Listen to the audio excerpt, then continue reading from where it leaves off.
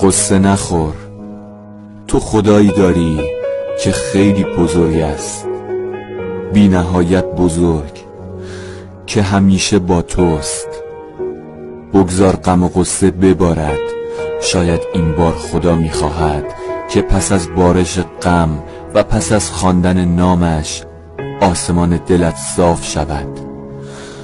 شاید این بار خدا می‌خواهد که خودش چتر تو باشد. خدایا از اینکه می‌بینم بزرگی چون تو همواره مرا زیر نظر دارد و فراموشم نمی کند به خودم میبالم. هوایم را داشته باش.